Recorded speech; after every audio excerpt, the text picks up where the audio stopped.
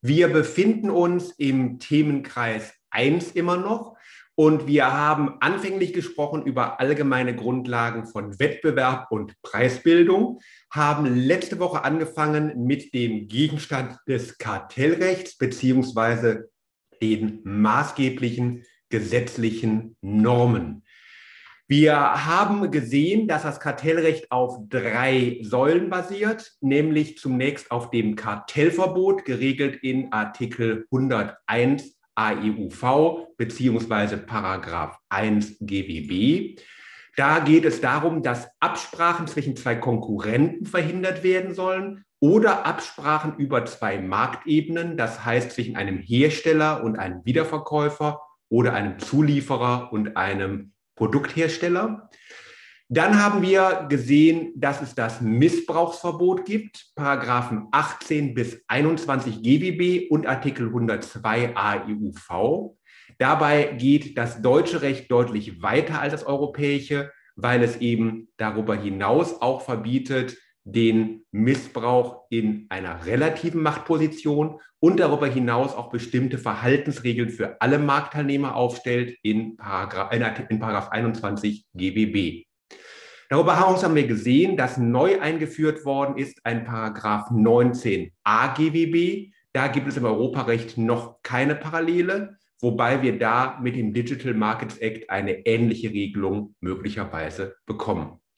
Wenn Sie die Tagespresse verfolgt haben, wissen Sie, dass derzeit ein Verfahren gegen Apple angestrengt wird wegen des App Stores mit der Begründung, dass der verhindert, dass andere Anbieter ihre Apps auf Apple Smartphones und Apple iPads bringen. Das heißt, dass hier die ähm, komplette Verfügbarkeitsmacht bei Apple liegt und die dadurch ihren ähm, Anbietern untragbare Bedingungen auferlegen.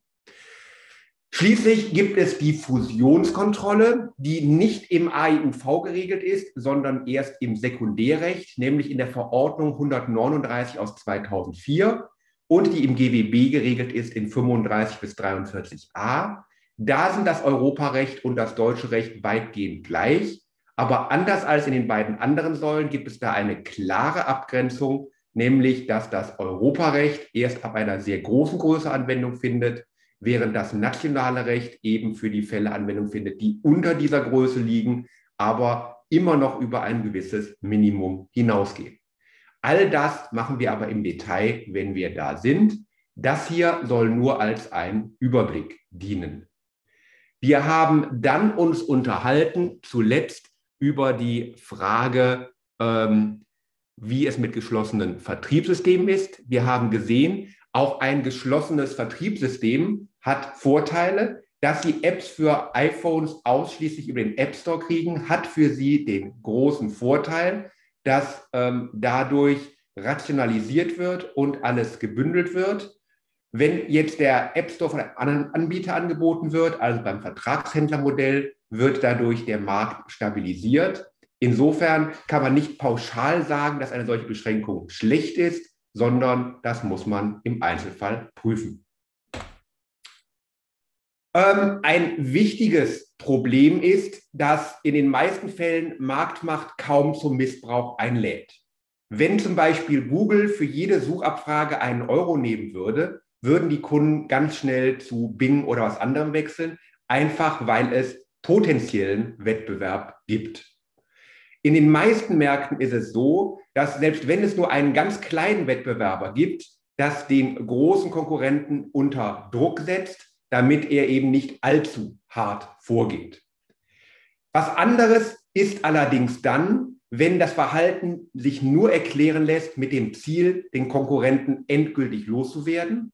Und das ist zum Beispiel der Fall, wenn jemand dauerhaft Verluste macht. Das heißt, wenn Sie 100 Euro für die Herstellung eines Produktes investieren und das für 50 Euro verkaufen, machen Sie mit jedem verkauften Produkt einen Verlust von 50 Euro. Dafür gibt es keine andere rationale Erklärung, als dass das Ganze dazu dienen soll, Konkurrenten zum Markt verdrängen, die nicht so hohe Geldreserven haben. Und dann sind sie in einem Missbrauchsbereich. Es kann durchaus Ausnahmen geben, zum Beispiel wenn es um ein altes Produkt geht, was Sie noch aus dem Lager holen wollen. Also wenn Apple in irgendeinem Lager noch iPhone 8 entdeckt und sagt, naja, momentan haben wir das iPhone 12, dann können Sie die auch verramschen, auch wenn die Herstellungskosten höher waren. Es kann auch sein, wenn Sie neu auf einen Markt kommen, dass Sie das machen, um Kunden anzulocken, also so als Werbeangebot. Das kennen Sie auch, wenn Sie am Bahnhof oder in irgendeiner Einkaufszone irgendwelche Geschenke kriegen. Das machen die Leute nicht, weil sie großzügig sind, sondern um sie anzulocken.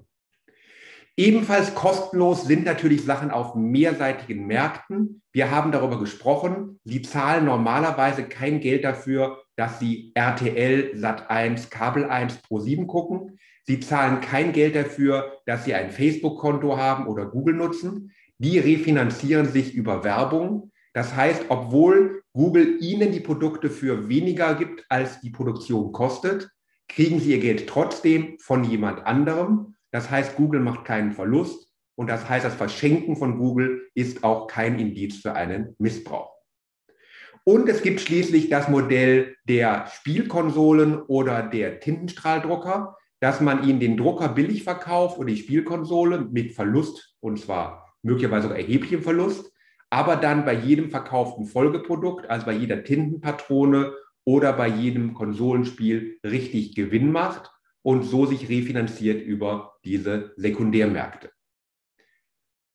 Wenn keiner dieser Fälle vorliegt, wollen Sie damit die Konkurrenten vom Markt verdrängen. Das heißt, wenn Coca-Cola anfängt, seine Getränke zu verschenken, wollen Sie damit die Pepsis und Aldis und Lidls abwürgen. Das funktioniert aber nur, wenn Sie wirklich einen längeren Atem garantieren können. Sie müssen also sicher sein, dass keiner der Konkurrenten bis zum Ende durchhält. Und Sie müssen darüber hinaus natürlich auch sicherstellen, dass der Konkurrent nicht direkt wieder auf den Markt kommen kann. Das heißt, dass der Markteintritt sehr teuer ist und die Investitionen verloren gehen. Das mag bei Märkten wie bei der Herstellung von Automobilen zum Beispiel naheliegen. Wenn VW für zehn Jahre lang die Autos verschenkt, wären sie danach ein Monopolist, weil es keinen anderen Marktteilnehmer mehr gäbe. Und der Aufbau einer neuen Autofabrik kostet sehr viel Zeit und Geld. Das sehen Sie gerade Berlin-Brandenburg wenn Sie gucken, Tesla hat da große Probleme. Außerdem gibt es noch die denkbare Problematik, dass ähm, möglicherweise die anderen sich irrational verhalten und genauso Chaos machen wie sie, dann funktioniert das Ganze auch nur bedingt. Letzte Säule war die Zusammenschlusskontrolle. Und da haben wir vor einem Jahr den großen Zusammenschluss gehabt von Edeka äh, und Real. Sie erinnern sich, Real gibt es nicht mehr. Es gibt zwar noch einzelne Realmärkte, aber die werden entweder schrittweise verkauft oder sind schon verkauft. Und zwar nicht an irgendwelchen Neueinsteiger, die sagen, ich will mal Tante Emma Laden betreiben, sondern an große Player, die es schon gibt namentlich Kaufland und Edeka. Und da musste das Bundeskartellamt prüfen, ob dadurch eine marktbeherrschende Stellung für Realkonkurrenten wie Kaufland entstanden sind. Das heißt, wir mussten gucken, ob noch genug Konkurrenten da auf dem Markt sind. Und aus dem Grunde wurden auch bestimmte Zusammenschlüsse verboten. Das heißt, bestimmte Filialen durften nicht an bestimmte Konkurrenten gehen. Ansonsten kennen Sie es auch im kleineren Rahmen, zum Beispiel bei Buchhandlungen. Sie wissen, Thalia ist eine große Kette von Buchhandlungen. Eine andere Kette ist Lehmanns und die sind auch zusammengeschlossen. Thalia hat Lehmanns gekauft und da musste auch das Bundeskartellamt prüfen, ob das eine marktbeherrschende Stellung begründet oder ob es noch genug Konkurrenz auf dem Buchmarkt gibt. In den meisten Fällen werden Zusammenschlüsse genehmigt. Sie kennen das zum Beispiel bei WhatsApp und Facebook, allerdings unter Auflagen. Das heißt, dass gesagt wird, ihr dürft zusammengehen, müsst aber folgende Sachen beachten. So war zum Beispiel eine Auflage bei WhatsApp und Facebook, dass die Daten von WhatsApp nicht an Facebook gehen dürfen. Und wie Sie alle wissen, hat man sich da eine gewisse Zeit lang dran gehalten, aber heute nicht mehr. Und deshalb hat Facebook unter anderem jetzt ein kartellrechtliches Problem. Sie sehen also, das sind Themen, die uns alle beschäftigen und jeden Tag beschäftigen. Und das ist auch für die EU ein Problem. Die EU weiß nämlich, wenn einzelne Staaten ihre Unternehmen aufpäppeln durch Subventionen oder durch ähm, erleichterte Wettbewerbsbedingungen kann das Vorteile geben gegenüber Unternehmen aus anderen Staaten. Wenn Deutschland also VW Geld in die Hand drückt, dann hat VW einen Vorteil gegenüber Renault oder anderen Unternehmen aus Frankreich oder anderen Mitgliedstaaten. Das Ganze begründet dann möglicherweise ein Handelshemmnis und ist dann ein unfairer Vorteil im Binnenmarkt. Daher sagt 107 AEUV, gibt es ein Beihilfeverbot. Die Staaten dürfen Unternehmen grundsätzlich kein Geld geben, außer die EU-Kommission erlaubt das. Sie erinnern sich alle, bei den Corona-Hilfen war dann dieser Antrag, wo man gesagt hat, wir ermöglichen das und dann hat man hier eben diesen Zugang. Wir haben aber damit ein Problem, denn Sie haben ja gesehen, wir haben sowohl das Kartellverbot als auch das Missbrauchsverbot als auch die Fusionskontrolle auf nationaler und auf europäischer Ebene. Und damit haben wir theoretisch einen Normkonflikt. Was gilt, wenn die widersprüchlich geregelt sind? Was gilt also, wenn das deutsche Recht etwas verbietet, was das Europarecht erlaubt? Und was gilt, wenn das Europarecht etwas erlaubt, was das deutsche Recht verbietet. Grundsätzlich gilt im Kartellrecht die sogenannte Zwei-Schranken-Theorie. Das bedeutet das Nadelöhrprinzip. Es gilt die strengste Vorgabe. Wenn also etwas nach Europarecht verboten ist, dann ist es verboten. Wenn etwas nach deutschem Recht verboten ist, dann ist es auch verboten, unabhängig davon, was die jeweils andere Rechtsordnung sagt. Es gilt die strengste Regel. Allerdings wird das wieder modifiziert durch den Anwendungsform des Europarechts. Sie erinnern sich an Ihre Vorlesung ähm, im Europarecht hoffentlich. Und dieser Anwendungsvorrang sagt, das deutsche Recht darf nicht angewandt werden, wenn es in Widerspruch zum Europarecht steht. Umgekehrt gibt es auch keinen Zwang der EU-Kommission, sich mit nationalem Recht auseinanderzusetzen. Die EU-Kommission guckt ausschließlich ins Europarecht während die deutschen Behörden spiegelbildlich immer das Europarecht beachten müssen, um zu gucken, ob ihre Regeln ausgeschlossen sind. Diese sehr abstrakten Ausführungen müssen Sie zum Glück heute nicht mehr lernen, denn die EU hat das Ganze wunderbar aufgeschrieben für Sie in Artikel 3 der Verordnung 1 aus 2003, der sogenannten Kartellverordnung. Wenn Sie einen Gesetzestext haben, dann finden Sie diese Verordnung auch da drin und Sie sollten sich diese Verordnung unbedingt merken. Die brauchen Sie immer, immer, immer wieder. Das ist quasi die wichtigste Verordnung von allen. Und in dieser VO 1 2003 ist ein Artikel 3 und der hat die tolle Überschrift Verhältnis zwischen den Artikeln 81 und 82 des Vertrages zu dem einzelstaatlichen Wettbewerbsrecht. Warum steht da 81, 82? Nun, Sie wissen, die EU ist ein dynamisches Konstrukt und dummerweise gab es nicht immer schon den AIUV. Es gab früher den EGV, den EG-Vertrag und der war anders nummeriert. Heute ist es 101, 102. Man hat die Verordnung aber nicht angepasst. Das heißt, da wird immer noch von den alten Artikeln gesprochen. Inhaltlich ist das Gleiche da geregelt. Das ist auch wörtlich identisch. Man hat einfach nur die Zahlen geändert und vergessen, die in der Verordnung anzupassen. Was steht da jetzt drin?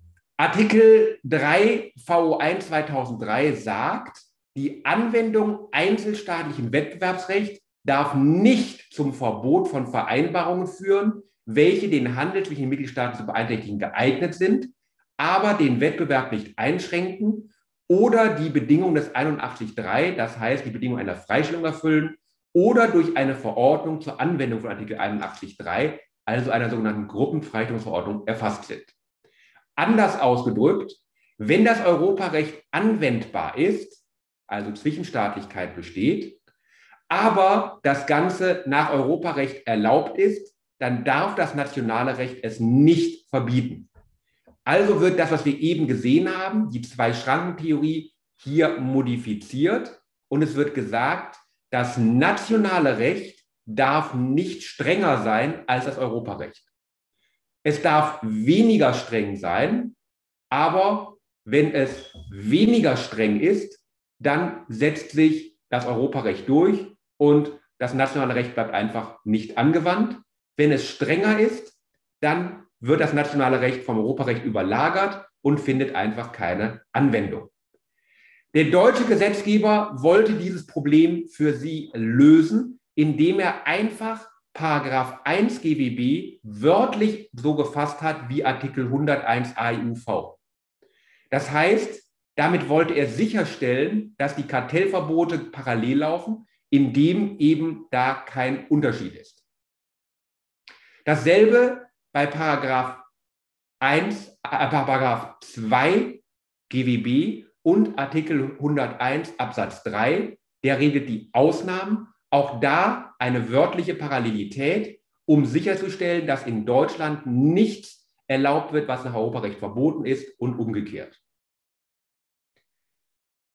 Den Artikel 3 V1 2003 finden Sie in leicht modifizierter Form in Paragraph 22 GBB nochmal. Also Artikel 3 V1 2003 und Paragraph 22 GWB sind eine Parallelregelung.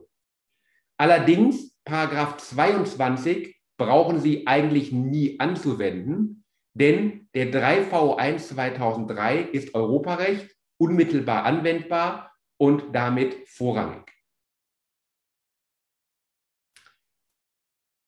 Das, was ich Ihnen eben gesagt habe, gilt für Artikel 101 und Paragraph 1. Sie können aber noch gucken, es gibt eine besondere Ausnahme im deutschen Recht in Paragraph 3 GWB. Da geht es um Mittelstandskartelle. Und diese hat keine Parallele im Europarecht.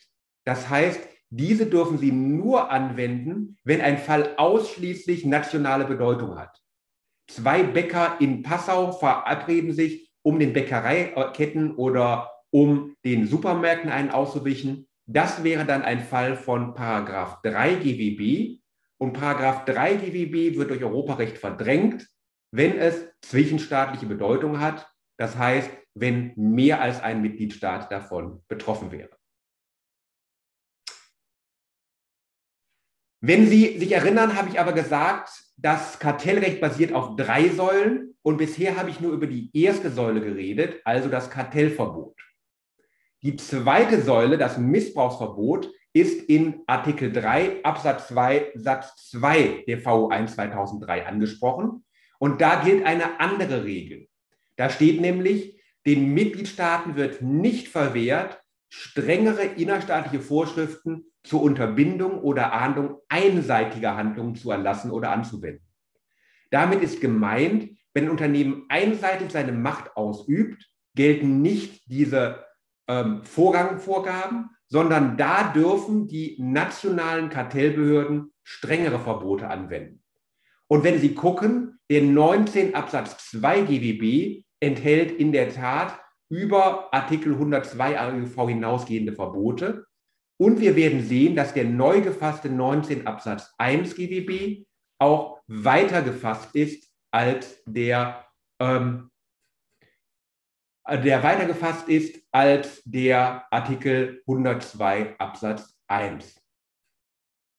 Warum hat man das Kartellrecht nicht harmonisiert? Man hätte doch eine Richtlinie erlassen können. Nun, das hat einen einfachen politischen Grund, wenn der Wettbewerb rein auf nationaler Ebene betroffen ist. Also unsere Stände auf dem Weihnachtsmarkt oder unsere Bäcker in Passau, dann ist das ein rein nationales Interesse und da gibt es keinen Grund, dass das Europarecht da Anwendung findet. Sie wissen, es gilt im Europarecht das Problem der beschränkten Ermächtigung und der Subsidiarität. Und es gibt keine Ermächtigung für die EU, die rein innerstaatlichen Märkte zu regeln, sondern nur den Binnenmarkt. Und das heißt, es gibt keine Befugnis, da eine Vollharmonisierung durchzuführen. Daher hat man einfach gesagt, für ihre inneren Angelegenheiten sind die Mitgliedstaaten selber zuständig. Und wenn Sie da andere Sachen regeln wollen als die EU, ist das kein Problem. Sie sehen auch, der Artikel 3 Absatz 2 Satz 1 sagt ja ausdrücklich, das gilt nur, wenn der Handel zwischen den Mitgliedstaaten beeinträchtigt ist. Wenn dagegen es wirklich um was rein Lokales geht, dann hat die EU keine Regelungsbefugnis und muss das Ganze hinnehmen. Das ist der Grund, warum wir das so geregelt haben. Gut, Der, die Regelung ist nicht wirklich schwierig. Das kriegen wir hin.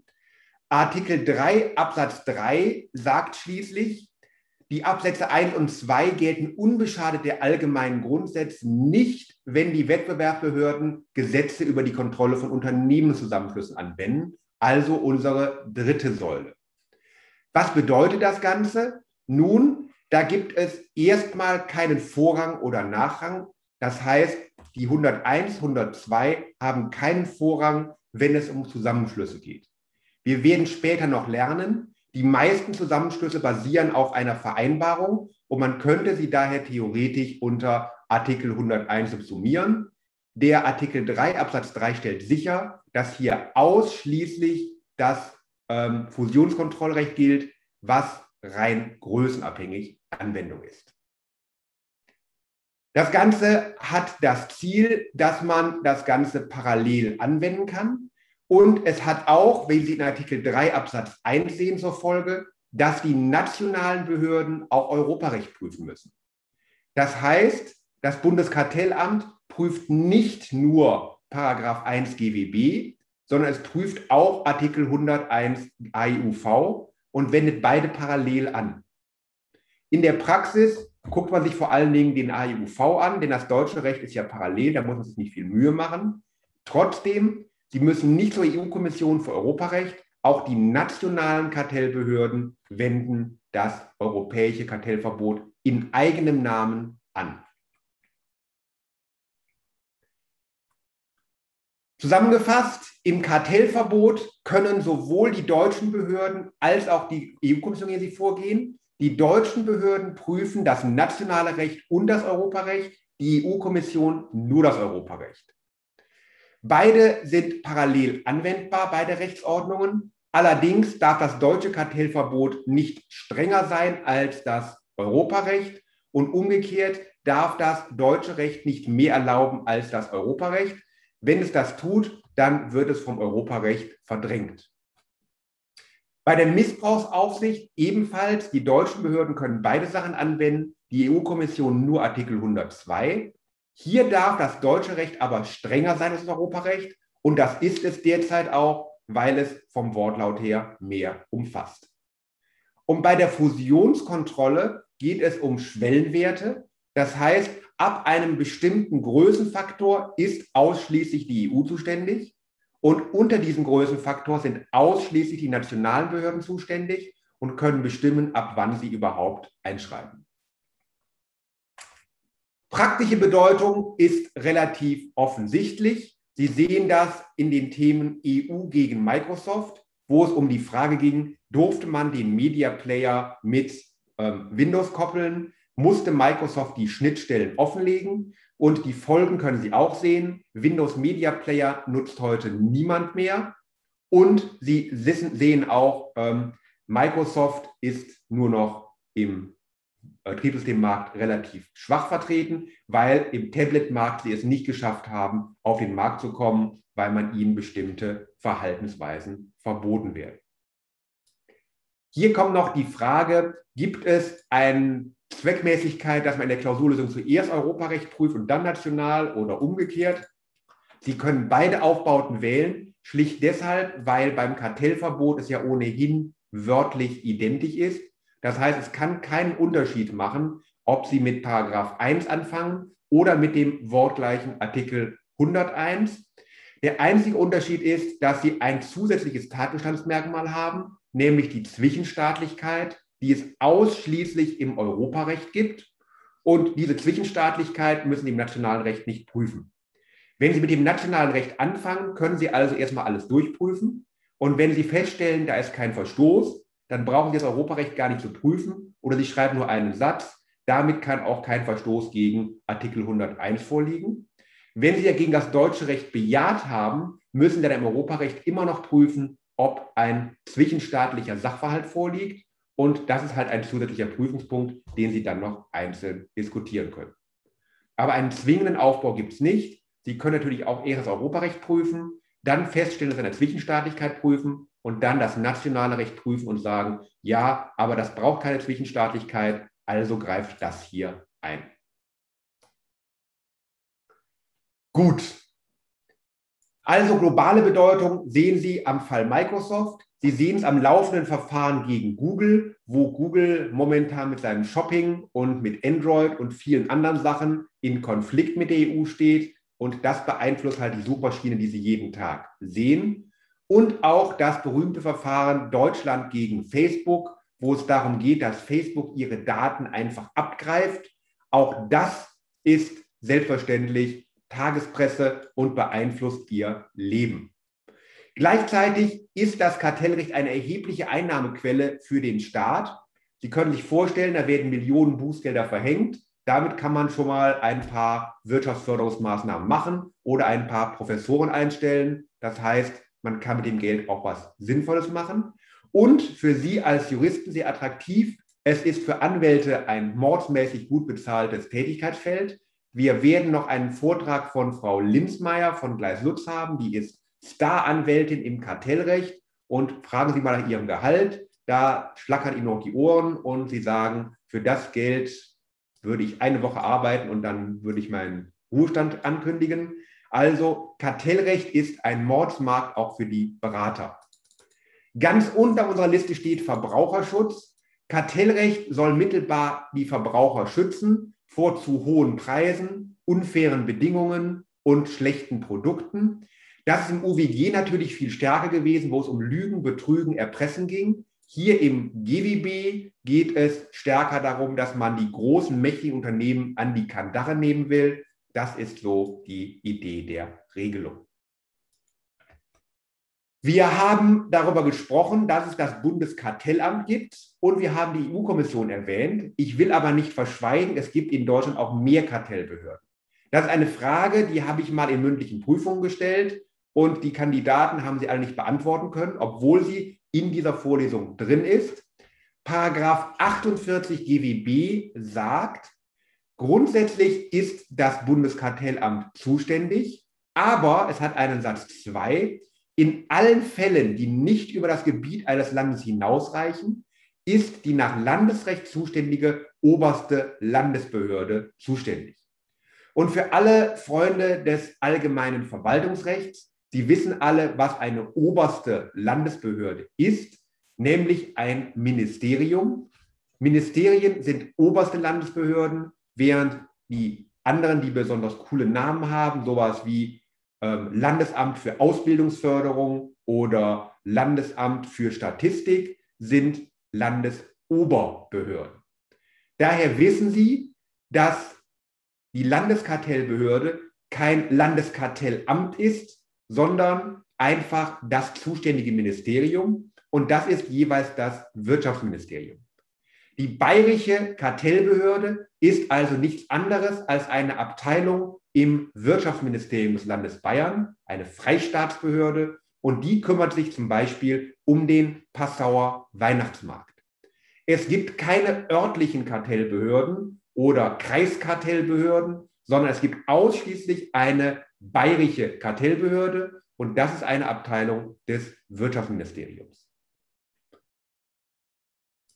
In der Praxis haben die Landeskartellbehörden eher wenig zu tun, weil Sie können sich vorstellen, die meisten Sachen sind über die Grenze eines Bundeslandes hinaus oder sie sind so klein, dass man sie gar nicht bemerkt. Also die Preisabsprachen auf dem Weihnachtsmarkt oder unter den Bäckern spielen in der Praxis keine große Rolle. Aber auch da arbeiten Juristen und Ökonomen das heißt, da sind Leute, die zumindest was tun, Beamte. Der Hauptplayer ist aber das Bundeskartellamt in Bonn. Ich habe hier die schöne Ansicht gewählt. Das ist die schöne Ansicht des Bundeskartellamts. Da arbeiten ungefähr 300, 400 Leute. Davon ist die Hälfte juristisch ausgebildet, die andere Hälfte volkswirtschaftlich. Das heißt, da sitzen Vivis und Juristen in einem Haus und müssen gemeinsam Fälle bearbeiten. Wenn Sie sich an Ihr Studium in den letzten Jahren erinnern, viel mit Vivis hatten Sie nicht zu tun, aber da haben Sie die jeden Tag neben sich sitzen, weil die Sachverhalte eben nicht nur rechtlich zu beurteilen sind, sondern auch auf ihre Wettbewerbsfolgen zu untersuchen. Bundeskartellamt, eine mächtige Behörde, vor allen Dingen aber auch eine sehr medienwirksame Behörde. Recht sehen Sie Herrn Mund, sehen Sie immer wieder im Fernsehen, in Pressemitteilungen, immer dann, wenn es irgendwas Tolles gibt, sehen Sie da, das Bundeskartellamt hat wieder 500 Millionen Bußgelder verhängt und keine Ahnung was. Das ist eine sehr deutliche deutsche Behörde. Die äh, EU hat in der Kommission die Frau Vester, Sie kennen die, war mal auf dem Weg zur Präsidentin, bevor unsere Ursula von der Leyen kam. Ähm, also auch die sehr gerne in den Medien, immer dann, wenn man gegen große Unternehmen wettern kann. Jetzt kommt der Teil, den Sie wahrscheinlich am langweiligsten finden, der aber immer wieder mal gerne in Prüfungen auftaucht. Ein Blick in die Geschichte, nicht weil ich Rechtshistoriker bin, so lange geht es ja nicht zurück, sondern einfach, damit Sie ein Gefühl dafür haben, dass Kartellrecht keineswegs selbstverständlich ist. Ich habe schon gesagt, Kartellrecht gab es weder im römischen Recht noch im Mittelalter. Das Kartellrecht ist eine Erfindung des späten 19., frühen 20. Jahrhunderts, also was relativ modernes. Der Grund dafür ist, dass ganz früher der Staat ohnehin alles regelte. Man sprach vom Merkantilismus, es gab keinen freien Wettbewerb, sondern eine Planwirtschaft letztendlich, wo der Staat ihnen sagte, du kommst in den Bäckerstand und bist ab sofort nur noch für Brote zuständig. Allerdings gab es dann die Revolution. Man hat Gewerbefreiheit eingeführt in Deutschland ähm, Anfang des 19. Jahrhunderts. Das bedeutete, jeder konnte jedes Gewerbe ausüben, soweit es nicht ausnahmsweise genehmigungsbedürftig war. Und das führte dazu, dass manche Leute da Missbrauch mit trieben und gegenseitig sich in die Pfanne hauten und versuchten, alle Konkurrenten vom Markt zu verdrängen, um der einzige Beteiligte zu sein. Das heißt, da wollte man dann schon verhindern, dass die Gewerbefreiheit missbraucht wird, um eben den kleinen mittelständischen Unternehmen die Existenz zu ermöglichen und hat da regulierend eingegriffen. Dann kam aber eine Wirtschaftskrise und man hat gesagt, oh, damit die armen Unternehmen nicht alle pleite gehen, muss man ihnen ermöglichen, sich über Preise zu einigen oder Konditionen. Das heißt, Kartelle wurden begrüßt. Man hat gesagt, ein Kartell ist doch eine tolle Sache. Damit können sich die Kleinen über Wasser halten und wir ermöglichen dadurch, dass überhaupt noch Leute da sind. Man sprach von Kartellen als Kinder der Not und die Kartelle waren dazu da, die Kleinen zu retten. Ein gewisses Überbleibsel dieses Gedankens ist der Paragraph 3 GWB, der eben sagt, die Kleinen und Mittelständischen sollen sich zusammenschließen können, um sich gegen die anderen Großen zu verteidigen. Das heißt, da ist die Idee, die Kleinen können nur überleben, wenn sie sich koordinieren dürfen. Sie sehen also, so recht in Gang kam das Ganze in Deutschland nicht, ganz anders in den USA. Die Amerikaner hatten nämlich Angst vor der Vision, dass die großen Konzerne die Politik kontrollieren und damit auch den Staat. Das heißt, dass Unternehmen wie Facebook und Google letztendlich entscheiden, wie der Bürger leben kann.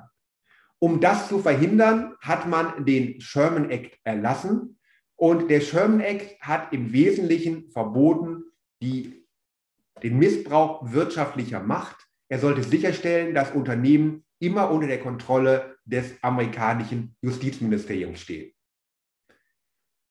Das war eine Revolution, das war quasi eine Art Rückschritt wieder in die Verstaatlichung der Unternehmen. Und man hatte damals nur Generalklauseln, eben um das Ganze möglichst flexibel zu halten. Man hat das Ganze dann erweitert 1914 mit der Absprache zur Monopolisierung. Das heißt, Unternehmen, die versucht haben, einen Markt zu monopolisieren, sollten schon im Vorfeld verfolgt werden können.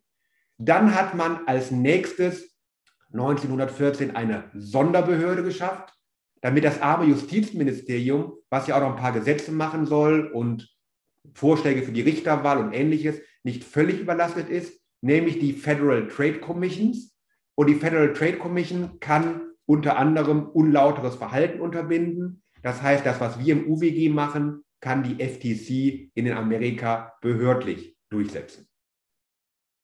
In der Folge hat man dann immer weiter die Regeln verschärft 1976 hat man dann eingeführt eine Pflicht, große Fusionen vorab anzumelden, damit der Staat die prüfen kann, bevor sie durchgeführt werden und nicht erst ex post.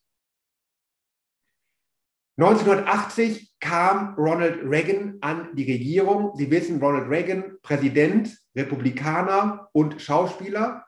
Und Ronald Reagan war ein großer Freund der Chicago School.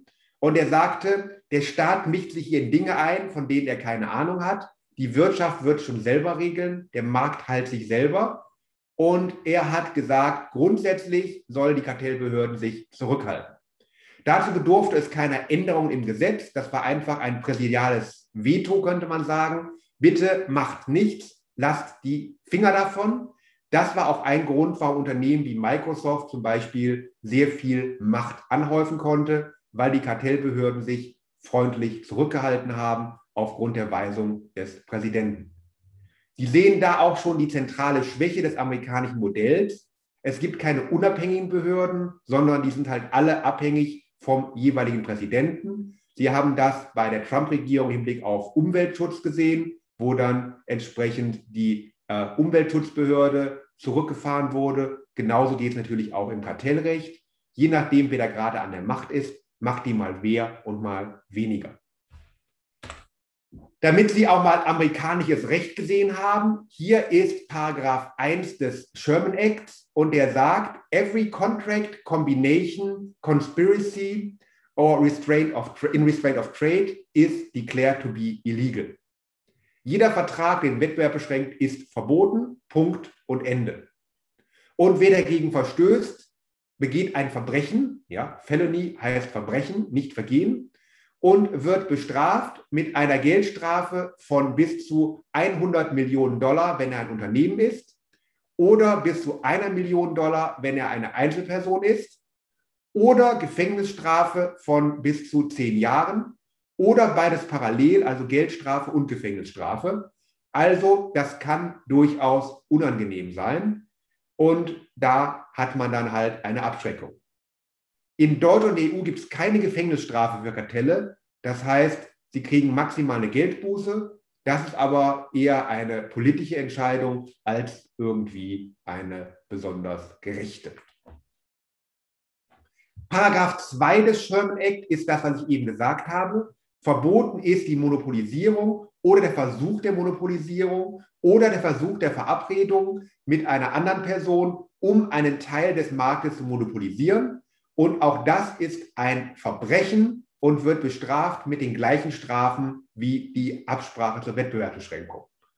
Das heißt, diese Regel soll grundsätzlich verhindern, dass jemand zu viel Macht anhäuft und soll große Unternehmen vorher schon in ihre Schranken weisen. Kommen wir wieder zurück nach Deutschland. In Deutschland gibt es die berühmte Entscheidung zum sächsischen Holzstofffabrikantenverband des Reichsgerichts. Und das Reichsgericht hat ganz klar gesagt, auch ein Kartell fällt unter die Vertragsfreiheit und es verstößt auch nicht gegen die Gewerbefreiheit, wenn sich Gewerbsgenossen zu dem in gutem Glauben verfolgten Zweck miteinander verbinden, einen Gewerbszweig durch Schutz gegen die Entwertung seiner Erzeugnisse und die sonstigen aus Preisunterbietungen einzelner hervorgehenden Nachteile lebensfähig zu halten. Das heißt, man will den harten Preiswettbewerb verhindern und man möchte gerne, dass ähm, die alle gut leben können. Und rein formal hat man gesagt, die Gewerbeordnung gewährt zwar Gewerbefreiheit, aber das ist nur ein Recht gegen den Staat. Einschränkung der Gewerbefreiheit durch Private seien kein staatliches Problem. Und rein politisch hat man noch gesagt, Kartelle sind ja eine gute Sache, denn wenn der Staat durch Schutzzölle, Sie erinnern sich, Trump und die Chinesen oder Trump und die EU, verhindern kann, dass die nationalen Produkte zu billig, also teuer werden im Vergleich zur Konkurrenz, dann können das Private erst recht. Also, während die Amerikaner munter Kartellverbote schaffen, sagen wir in Deutschland, Kartelle sind eine gute Sache. Und wenn Sie ja statistisch sehen, die Zahl der öffentlich bekannten Kartelle stieg stetig an. Deutschland war das Land der Kartelle. Da lohnte es sich noch, Absprachen zu treffen. Immerhin hat der Gesetzgeber sich bemüßigt gesehen, das Ganze einer Form zu unterwerfen, Schriftform für ein Kartell und Verträge, die ausschließlich ähm, formlos waren, waren damit nach 125 Satz 1 nichtig. Nichtig waren auch alle Verträge, wo sie ein Ehrenwort geben sollten. Das heißt, der Formzwang war hier ähm, durch Ehrenzwang nicht zu ersetzen. Und dann kam die tolle Sache, wenn Sie die Anrufung eines Gerichts ausschließen, dann ist der Vertrag deshalb nichtig, denn man soll auf keiner Weise den Leuten verhindern, dass sie die Klauselkontrolle gerichtlich durchführen. Ansonsten, die Kartellgerichte können das Ganze nicht wirklich beeinflussen, sondern der Reichswirtschaftsminister kann dann im Einzelfall Kartelle verbieten, wenn ausnahmsweise das Gemeinwohl gefährdet ist. Und um das auch deutlich zu machen, das Gemeinwohl ist insbesondere dann gefährdet, wenn in volkswirtschaftlich nicht gerechtfertigter Weise die Erzeugung und der Absatz eingeschränkt werden, die Preise gesteigert oder hochgehalten werden oder im Falle wertbeständiger Preisstellung Aufschläge für Wagnisse eingerechnet werden oder die wirtschaftliche Freiheit durch Sperren im Einkauf oder Verkauf oder durch Festsetzung unterschiedlicher Preise oder Bedingungen unbillig beeinträchtigt wird. Das sind die Sachen, die wir später auch als Kernbeschränkungen kennenlernen werden. Das heißt, schon damals hat man gesagt, es gibt bestimmte Sachen, die ökonomisch gefährlich sind und die werden verboten. Ansonsten muss es ein Kündigungsrecht geben, wenn ein wichtiger Grund vorliegt. Und das ist immer dann, wenn die Wettbewerbsfreiheit beschränkt wird. Und darüber hinaus kann das Reichswirtschaftsministerium bestimmte Regeln ähm, als verbindlich oder unverbindlich anerkennen. Das waren so die Regeln dieser Verordnung. Das war das erste deutsche Kartellrecht von 1923. Wenig begeistert von diesen ganzen Regeln war das Reichsgericht. Und das Reichsgericht hatte nochmal eine Chance, sich mit Kartellrecht zu beschäftigen, im berühmten Benrather Tankstellenfall. Benrath ist inzwischen ein Stadtteil von Düsseldorf und das ist in Nordrhein-Westfalen, also sehr weit weg von Passau. Und der T betrieb nun eine Tankstelle in Düsseldorf-Benrath. Und zwar eine sogenannte unabhängige Tankstelle. Das ist eine, die nicht zu den Mineralölkonzernen gehört, also nicht Aral, Elf oder wie sie alle heißen. Die Benzinlieferanten, also Aral und Co., haben einen Vertrag geschlossen um, da steht auch im Vertrag drin, auf diese Weise die abträglichen Folgen gegenseitigen Wettbewerbs tunlichst einzuschränken. Das heißt, alle großen Tankstellenketten hatten einen Vertrag, wo drin steht, wir wollen keine Preisunterbietung machen, wir wollen gewisse Mindestpreise haben. Deshalb war es so, dass alle Tankstellen aus diesen Ketten 29 Pfennig, also quasi damals das, was Cent war, pro Liter verlangten. Und das hat auch unser T gemacht. Der hat gesagt, ja, 29 Pfennig ist okay. Die Konzerne erhöhten dann für ihre gebundenen Tankstellen den Preis auf 32 Pfennig, während unser T weiterhin 29 Pfennig verlangte. Das heißt, er hat die Preiserhöhung nicht mitgemacht. Daraufhin bekam er einen freundlichen Anruf willst du deinen Preis auch nicht, nicht auch erhöhen, so wie wir den erhöht haben? Und er hat gesagt, nö, ich finde 29 Pfennig ist okay. Daraufhin gingen die Tankstellenunternehmen hin und senkten ihren Preis auf 28 Pfennig. Das heißt, ein Pfennig weniger als unser Tee. Im Rest von Deutschland zahlte man immer noch 32 Pfennig, aber in Benrath war auf einmal das Benzin 28 Pfennig, außer bei Tee. Da hat der Tee seinen Preis auch auf 27 Pfennig gesenkt. Daraufhin haben die ihren Preis auf 26 Pfennig gesenkt.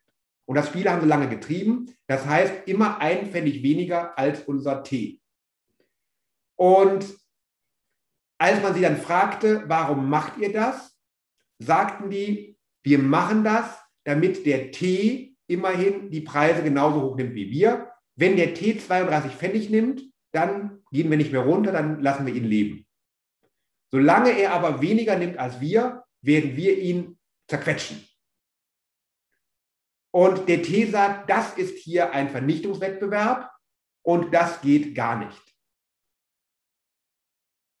Die Mineralunternehmen haben gesagt, wir wollen genau verhindern, dass wir hier Preisdumping betreiben. Wir wollen als Unternehmen gut leben. Also, Sie sehen berechtigte Interessen. Und dass der Fall nicht ganz so offensichtlich war, sehen Sie auch daran, dass es bis zum Reichsgericht ging. Und es ging da um 826 BGB, das heißt um eine vorsätzliche sittenwidrige Schädigung des T durch die Konkurrenten.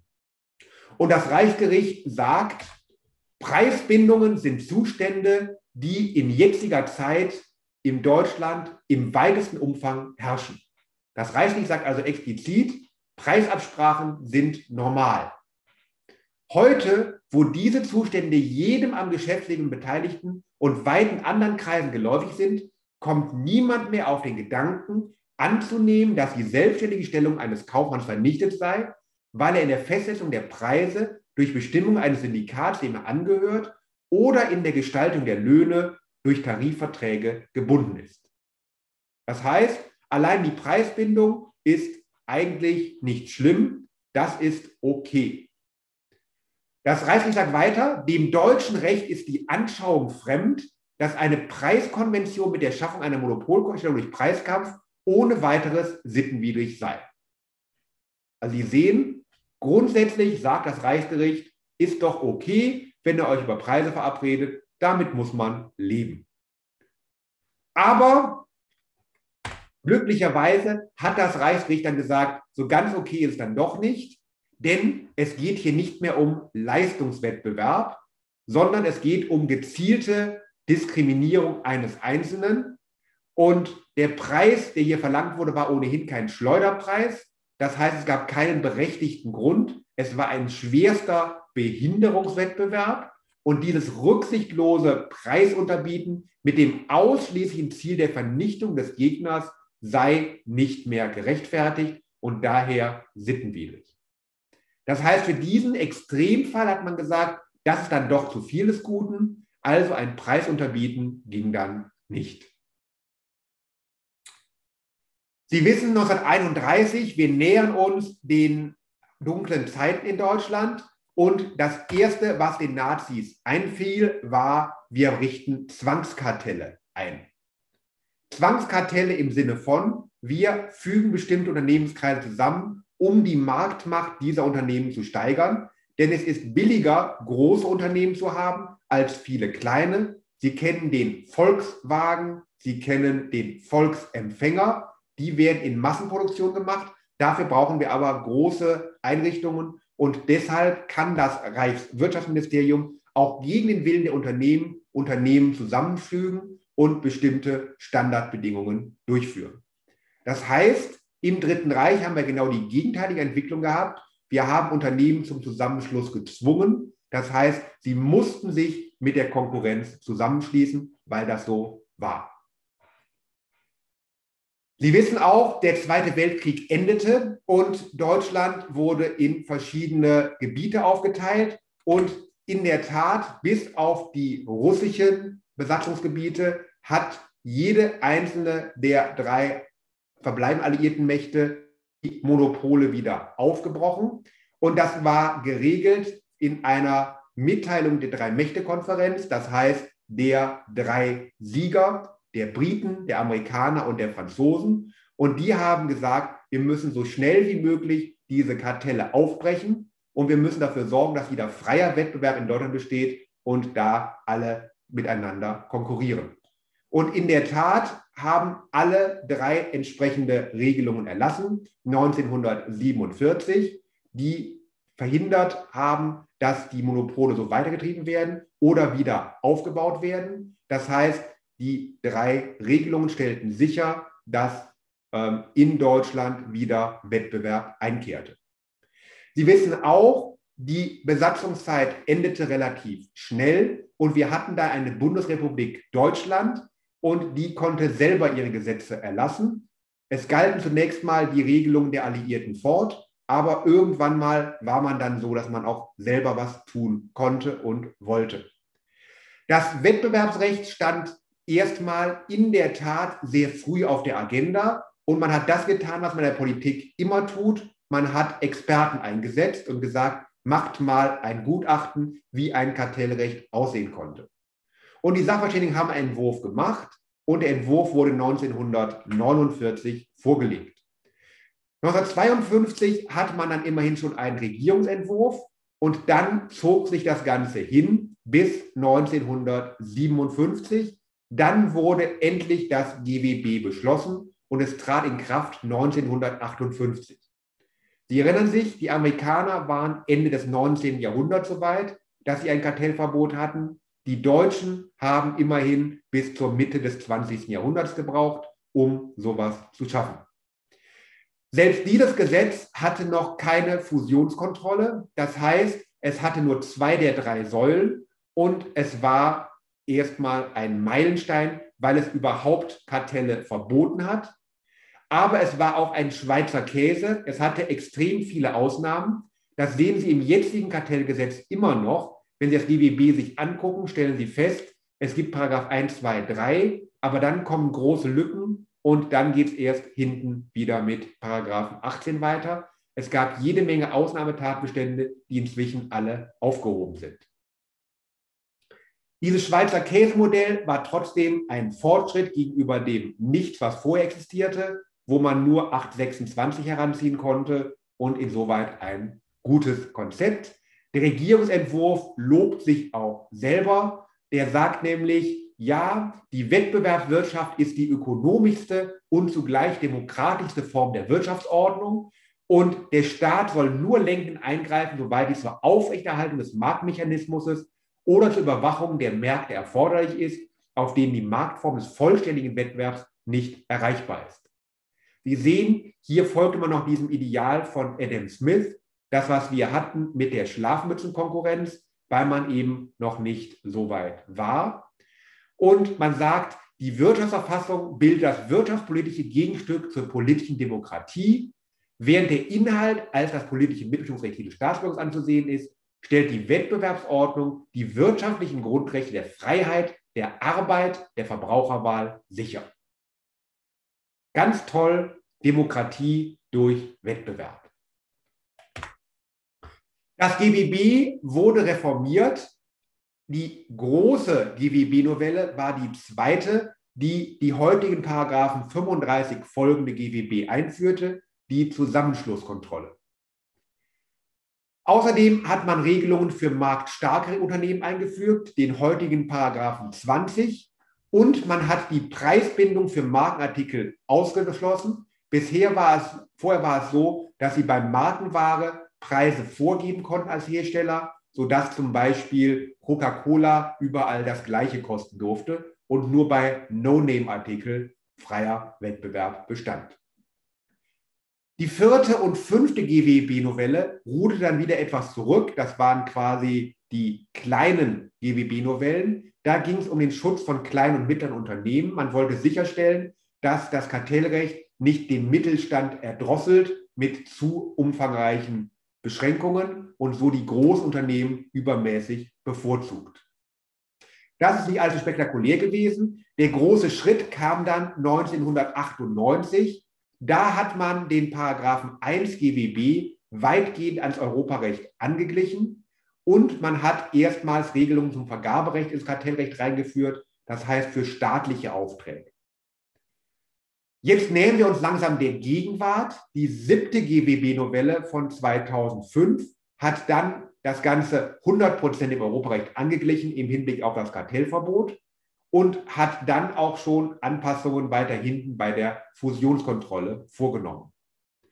Erst mit der achten GW-Novelle hat man die 35 folgende an die Vorgaben der EU angeglichen.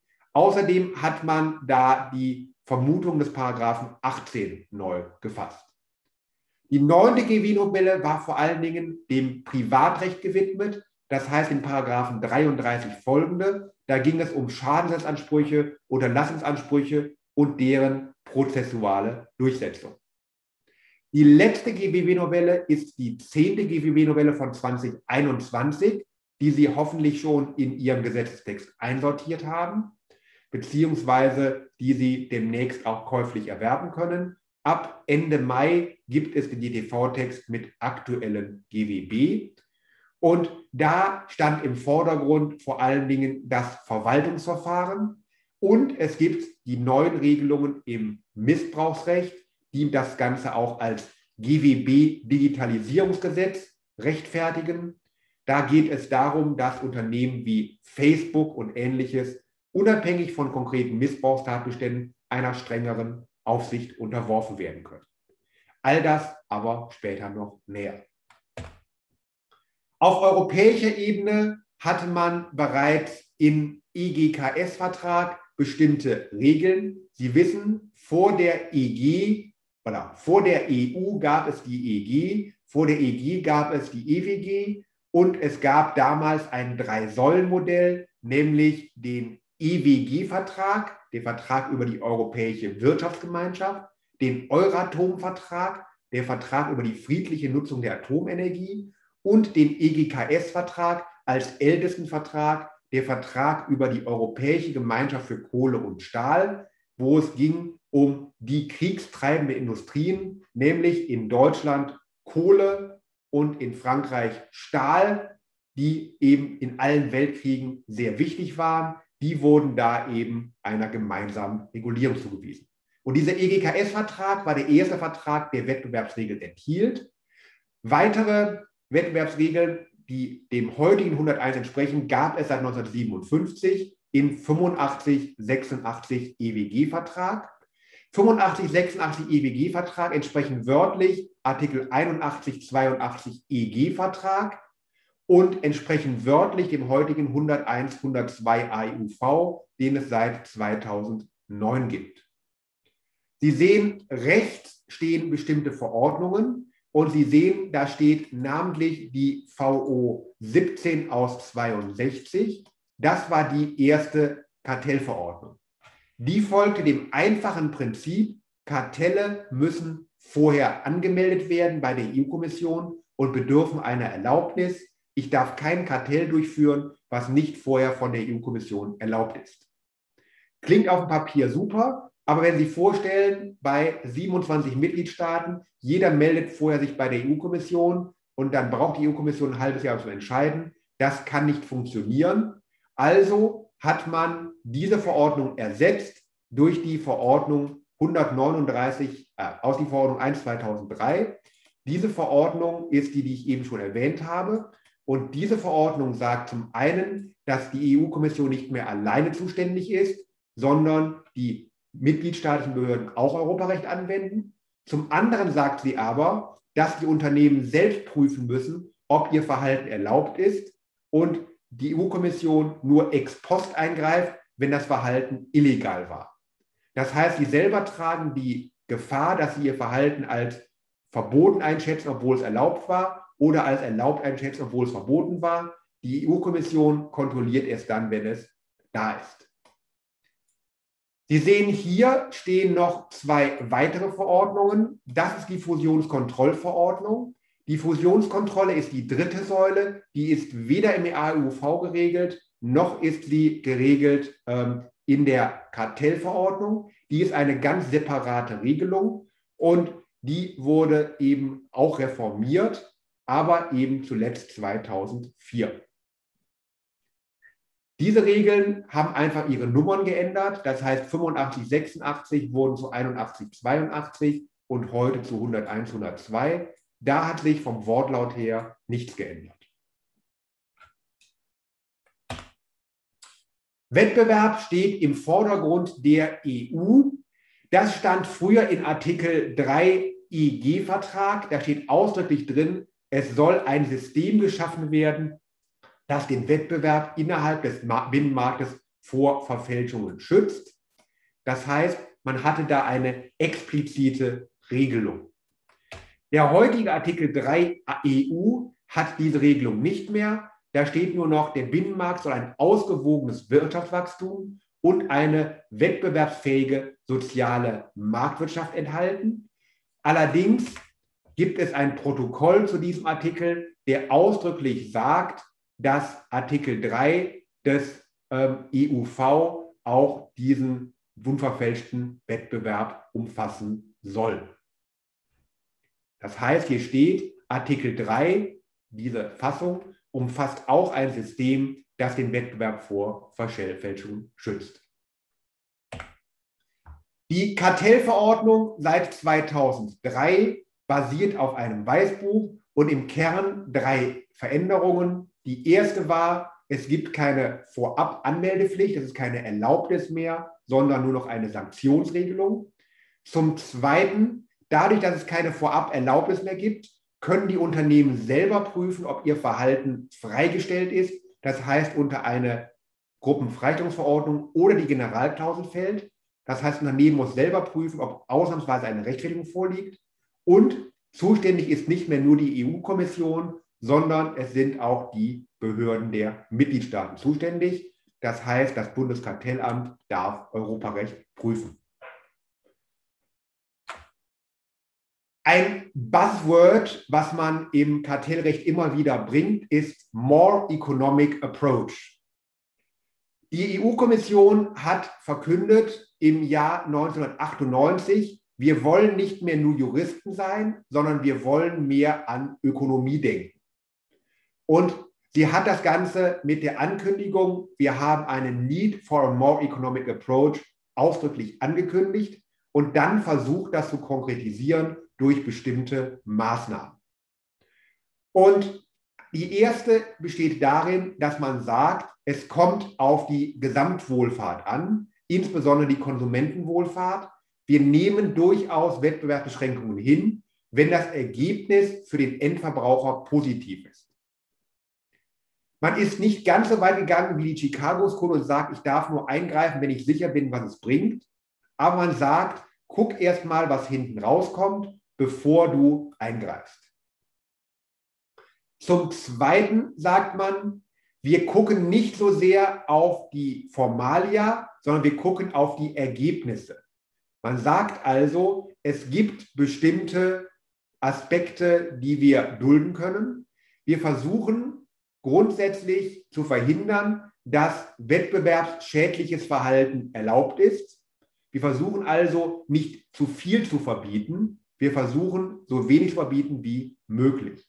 Gleichzeitig soll versucht werden, wettbewerbsneutrales Verhalten, das überhaupt keine Auswirkungen hat, oder Verhalten, was den Wettbewerb sogar fördert, nicht zu verbieten. Das heißt, die Regeln so zu fassen, dass sie wie ein Skalpell gezielt die Sachen rausschneiden, die gefährlich sind und nicht allzu breit mit dem Holzhammer jede Absprache verbieten. Und last but not least heißt More Economic Approach, mehr Ökonomie wagen. Das heißt, man will mehr auf ökonomische Methoden zurückgreifen.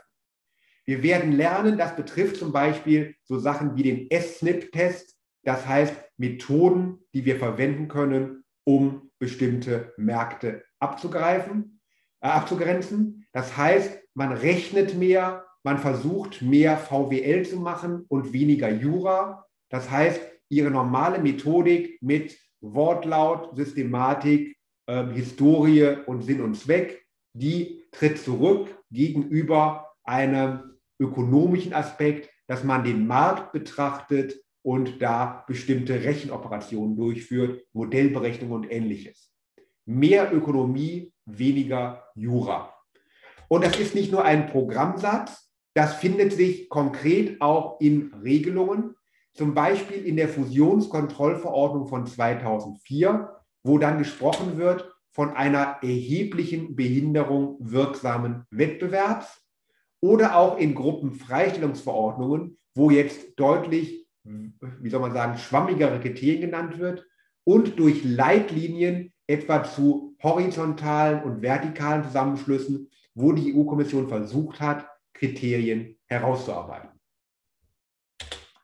Ich habe schon gesagt, aktuell ist die zehnte GWB-Novelle mit dem tollen Titel GWB Digitalisierungsgesetz oder im amtlichen Titel Gesetz zur Änderung des Gesetzes gegen Wettbewerbsbeschränkungen für ein fokussiertes, proaktives und digitales Wettbewerbsrecht 4.0. Klingt Hightech, cool, modern, Was ist ein Weißbuch, war gerade die Frage. Ein Weißbuch ist ein interner Aktionsplan der EU-Kommission, wo die EU-Kommission zusammenfasst, wie sie ein bestimmtes Problem angehen will. Das heißt, wo sie einen konkreten Plan äußert. Also eine Vorgesetzgebungsankündigung, was werden wir tun. Wenn Sie sich angucken, was dieses GWB Digitalisierungsgesetz ändert, dann sehen Sie aber recht schnell hier schon beim Inhaltsverzeichnis, es geht um Vorschriften zu den Kartellbehörden und es geht um Vorschriften zum Verwaltungsverfahren. Das heißt, das hat nichts mit Digitalisierung zu tun, sondern das ist vor allen Dingen Verwaltungsrecht und zwar Verwaltungsverfahrensrecht. Für alle, die Freunde des öffentlichen Rechts sind, also ein Schmankerl, aber für alle anderen eher ein ja, Trauerklos. Der Grund dafür, dass diese Regelungen da drin sind, ist natürlich wieder Europarecht. Es war eben schon die Frage, warum harmonisiert man da einfach das Kartellrecht? Nun, man hat jetzt harmonisiert die Regeln für die Kooperation der Wettbewerbsbehörden. Sie sehen, es ist hier eine Richtlinie 2019-1 im Hinblick auf eine wirksamere Durchsetzung der Wettbewerbsvorschriften und zur Gewährleistung des reibungslosen Funktionierens des Binnenmarktes und zwar durch Stärkung der Wettbewerbsbehörden der Mitgliedstaaten. Die Idee dahinter war, dass man eben hier die Verwaltungsverfahren harmonisiert und den Wettbewerbsbehörden mehr Kompetenzen etwa bei Bußgeldern und Ähnlichem einräumt. Gut, das sei als Anfang einmal hinreichend. Jetzt wissen Sie, worum es im Kartellrecht geht. Und jetzt können wir das tun, was Juristen immer machen. Wir fangen ganz von vorne wieder an und gucken uns die gesetzlichen Grundlagen an. Denn ein bisschen Jura soll ja schon dabei sein. Da fangen wir an mit dem Anfang, nämlich mit Paragraph 1 GWB oder Artikel 101 AIUV, die ja bekanntlich wörtlich gleich sind. Und wir gucken uns das Tatbestandsmerkmal für Tatbestandsmerkmal an. Das heißt, wir gehen einfach die Norm durch und stellen fest, es geht zum Beispiel um Unternehmen, um Absprachen und ähm, Wettbewerbsbeschränkungen. Die müssen bezweckt und bewirkt sein und schließlich den Handel zwischen den Staaten beeinträchtigen. Und wir fangen ganz einfach oben an. Voraussetzung ist ein Unternehmen. Wichtig, kein Unternehmer. Also achten Sie bitte darauf, es ist ein N wie Nordpol, kein R wie Richard. Es geht also nicht um Paragraph 14 BGB, das ist ein anderer Begriff. Zum Zweiten brauchen Sie eine Abrede. Das Wort Abrede taucht nicht im Gesetz auf, gilt aber als Oberbegriff für Vereinbarung, Beschluss und abgestimmte Verhaltensweise. Also es ist ein Oberbegriff, den Sie verwenden dürfen, der allgemein anerkannt ist. Dann brauchen Sie eine Beschränkung des Wettbewerbs, die bezweckt oder spürbar bewirkt ist. Und das Ganze muss zwischenstaatliche Bedeutung haben und es darf nicht nach Artikel 101 Absatz 3 ausnahmsweise freigestellt sein. Der Paragraph 1 GWB hat all diese Merkmale bis auf die Zwischenstaatlichkeit. Die Zwischenstaatlichkeit gibt es dabei nicht. Das heißt, die Zwischenstaatlichkeit ähm, gilt nicht. Der Grund dafür ist, das deutsche Kartellverbot soll auch gelten, wenn es rein lokale Absprachen sind und alles andere ist ähm, dann europarechtlich. Zum anderen ist die Norm etwas kürzer. Es fehlt zum einen der Artikel 101 Absatz 2, die Nichtigkeitsfolge, und es fehlt zum anderen der 101 Absatz 3. Der findet sich in Paragraph 2. Das heißt, da hat man einfach den Paragraphen aufgespaltet. Die Materialien zum Paragraphen 1 GWB sagen, es soll ausdrücklich im Lichte des Europarechts ausgelegt werden. Das heißt, man soll ausdrücklich berücksichtigen die Rechtsprechung des EuGH und die Entscheidungspraxis der EU-Kommission. Es soll einen Gleichklang geben, auch in materiell-rechtlicher Hinsicht. Wenn also das Merkmal Unternehmen auf europarechtlicher Ebene in einer bestimmten Weise ausgelegt wird, soll genau die gleiche Auslegung auch im deutschen Recht gelten. Es ist zwar formal ein eigener Verbotstatbestand, aber er soll, soweit irgend möglich, identisch ausgelegt werden zum Europarecht. Gleicher Wortlaut, gleiche Auslegung. Ich habe Ihnen mal ein Prüfungsschema mitgebracht. Das ist jetzt nicht zwingend, aber es zeigt Ihnen, wie man das sinnvoll aufbauen kann. Und das erste Merkmal ist der persönliche Anwendungsbereich. Das heißt, Unternehmen oder Unternehmensvereinigungen, das ist relativ klar. Das zweite Merkmal ist das, was ich hier als Abrede bezeichnet habe, ein wettbewerbswidriges Verhalten. Das heißt, eine Vereinbarung, ein Beschluss oder eine abgestimmte Verhaltensweise. Das muss zu einer Wettbewerbsbeschränkung geführt haben, beziehungsweise die zumindest bezweckt haben. Bei einer bezweckten Wettbewerbsbeschränkung brauchen Sie auch zusätzlich noch die Spürbarkeit. Dann brauchen Sie die Zwischenstaatlichkeit der Vereinbarung. Es muss also Bedeutung für den Binnenmarkt haben und nicht nur in einem Staat relevant sein. Dann müssen Sie möglicherweise tatbestandsimmanente Schranken prüfen.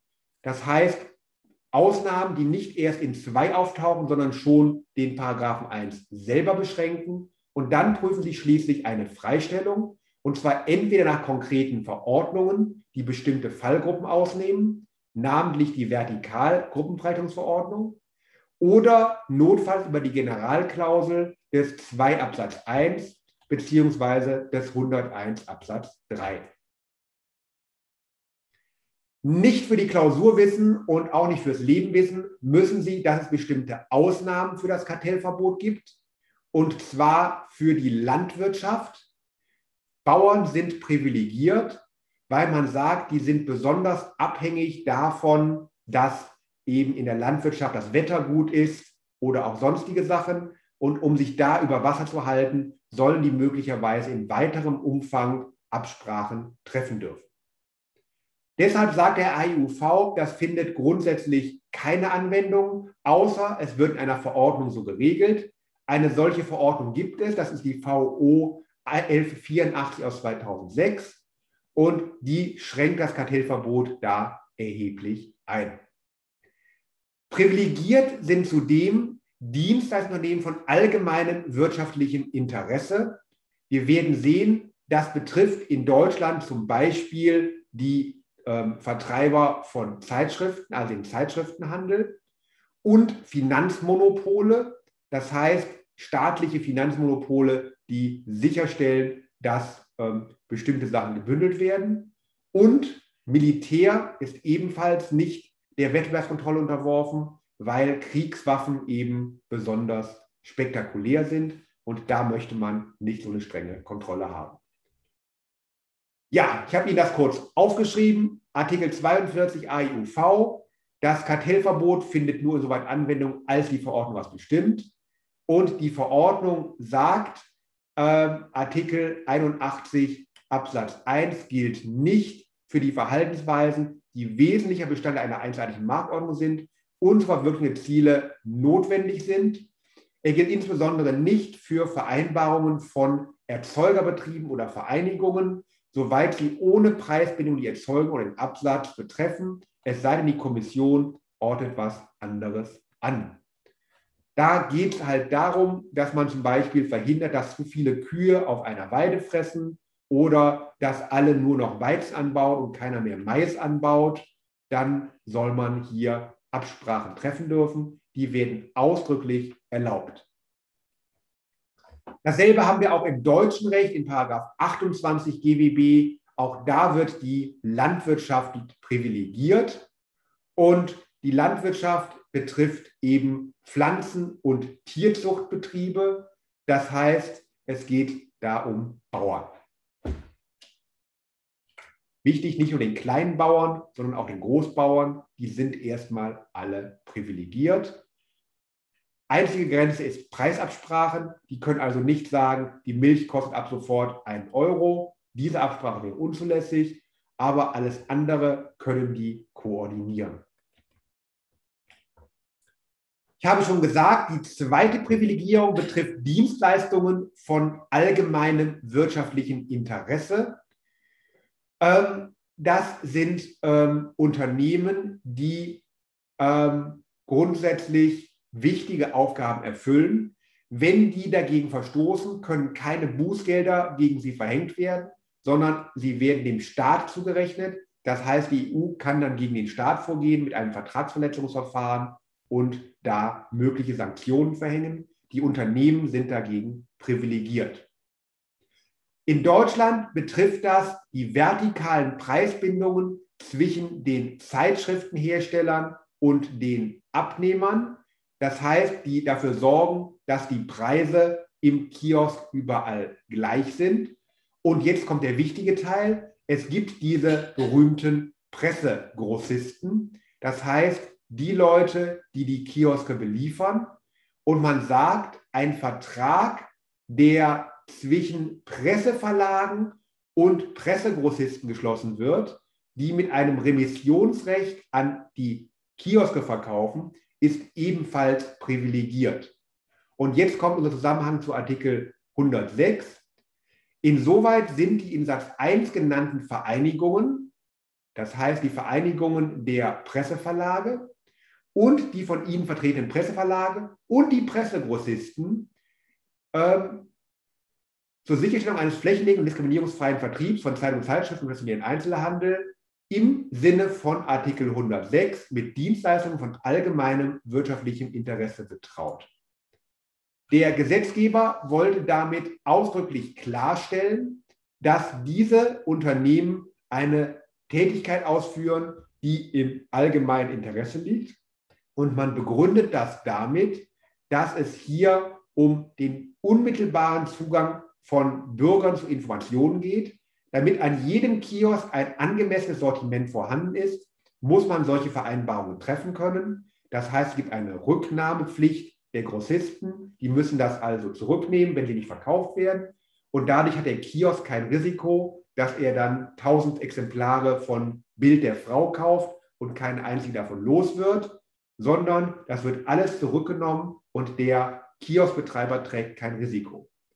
Das allgemeine wirtschaftliche Interesse liegt hier darin, dass man sagt, Informationszugang der Bürger, ein Komplettsortiment an jedem Kiosk.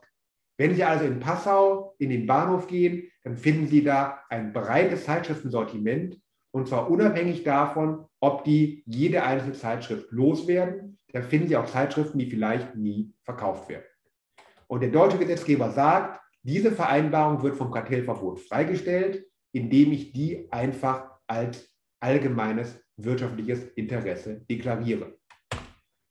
Der BGH hat das auch mal bestätigt, indem er gesagt hat, dieser 30 Absatz 2a ist damit vereinbar. Das Ganze dient einem allgemeinen wirtschaftlichen Interesse im Sinne des Unionsrechts, damit eben diskriminierungsfreie Zeitschriften vertrieben werden und damit unabhängig von den Kosten jeder Kiosk Zugang zu allen Sachen kriegt, die es auf dem Markt gibt.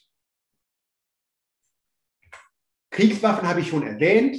Jeder Mitgliedstaat kann die Maßnahmen ergreifen, die seines Erachtens nach für wesentliche Sicherheitsinteressen erforderlich sind.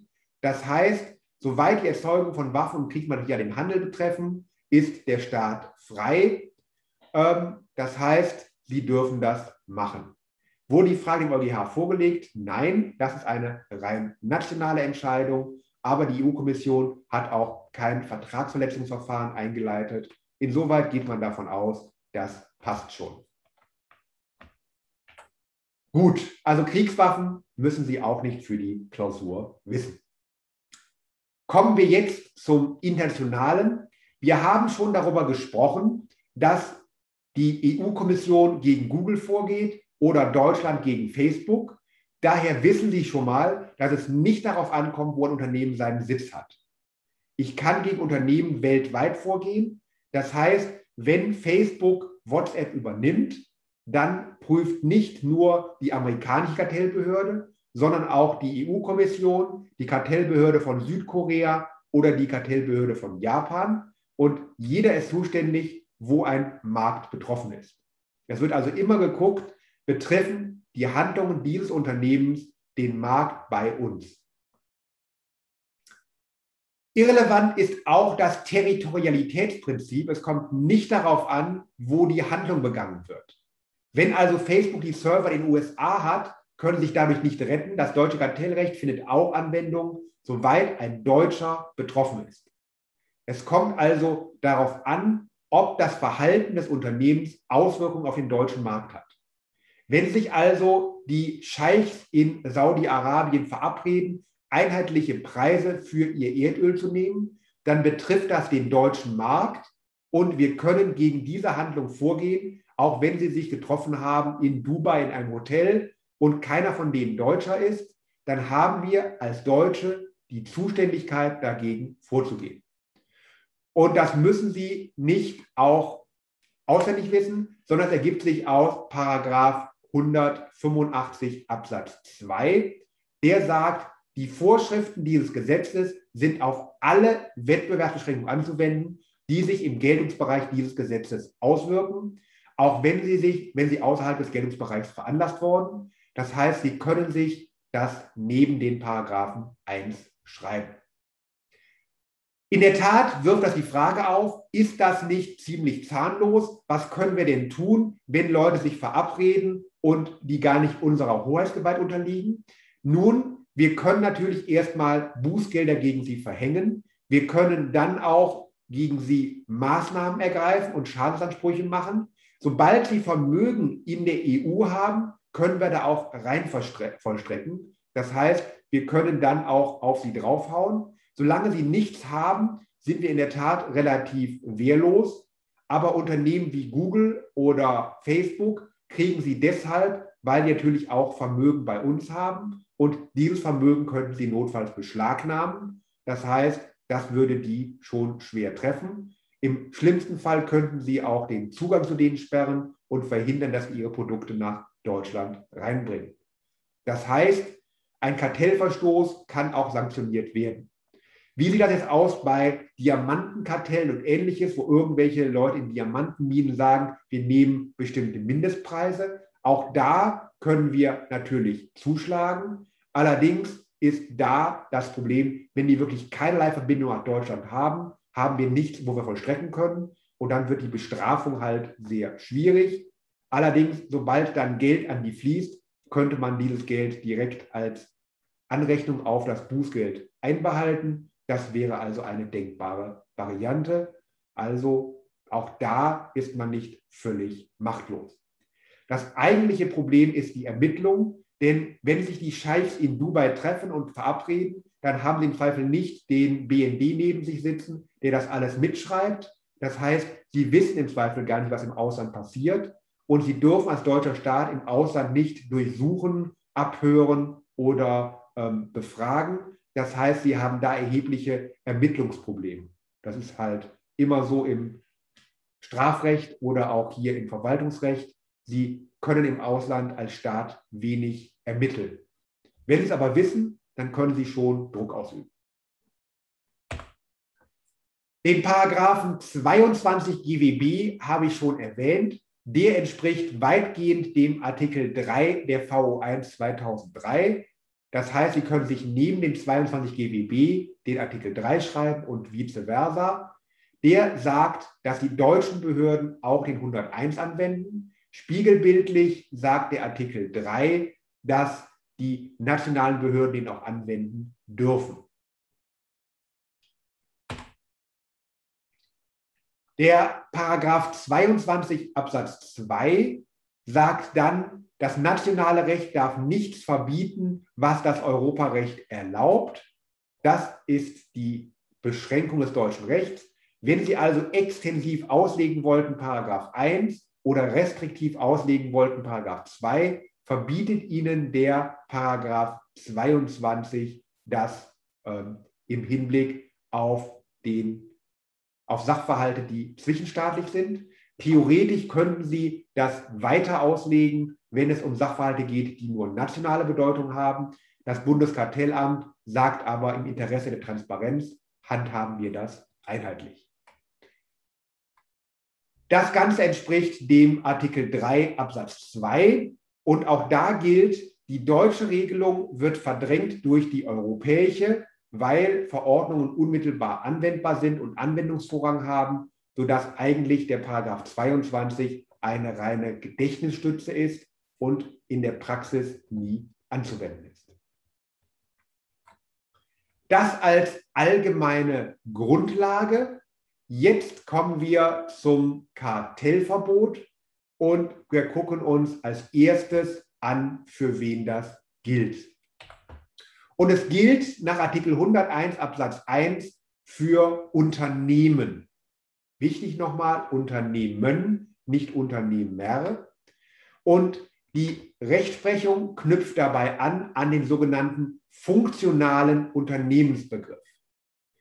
Und sie sagt, das ist jede Einrichtung, die eine Tätigkeit von gewisser Dauer ausübt, unabhängig von der Rechtsform bzw. der Art der Finanzierung. Das heißt, es geht nicht um einen institutionellen Begriff. Es kommt also nicht darauf an, ob das Unternehmen als Gewerbe oder als Selbstständiger oder als was ganz anderes geführt wird. Es kommt nicht auf die Rechtsform an, also nicht auf GmbH, eingetragener Kaufmann, UG haftungsbeschränkt oder AG. Es kommt nicht an, ob das Unternehmen auf Dauer ist oder nur für eine bestimmte Zeit. Es kommt nicht darauf an, wie es strukturiert ist, ob es eine Geschäftsführung gibt oder eine Einzelperson ist oder ob es 1000 Mitarbeiter gibt oder gar keinen. Es kommt nicht auf die Komplexität der Tätigkeit an. Es kann ganz triviale Sachen sein, einmal Rasenmähen gehen und sie sind Unternehmen. Jeder Schüler, der Rasenmähen geht oder babysittet oder Nachhilfe gibt, ist danach ein Unternehmen im Sinne der Regelung. Irrelevant ist auch die Art der Finanzierung. Unternehmen können insbesondere auch durch Steuergelder finanziert werden. Das heißt, der Staat kann die finanzieren. Sie können finanziert werden durch Werbung, das heißt nicht durch ihre Kunden, sondern durch Dritte. Und irrelevant ist auch die Gewinnerzielungsabsicht. Es kommt also nicht darauf an, ob Sie das machen, um sich zu bereichern oder ob Sie damit was Gutes tun wollen. Auch die Caritas ist ein Unternehmen, soweit sie Sachen nachfragt oder anbietet. Und last but not least, die Größe ist irrelevant. Es kommt also nicht darauf an, wie viel Umsatz Sie machen. Schon ab dem ersten Cent sind Sie ein Unternehmen. Man kann diese lange Definition, die da oben steht, auch zusammenfassen in dem einfachen Wort jede wirtschaftliche Einheit. Das heißt, im Normalfall reicht es, wenn Sie sagen, es muss eine wirtschaftliche Einheit sein. Das heißt, mehr braucht man dafür nicht. Das ist also eine kurze und prägnante Sache. Wenn wir diese Definition anwenden, können wir bestimmte Sachen ausschließen. Fangen wir an mit den privaten Endverbrauchern.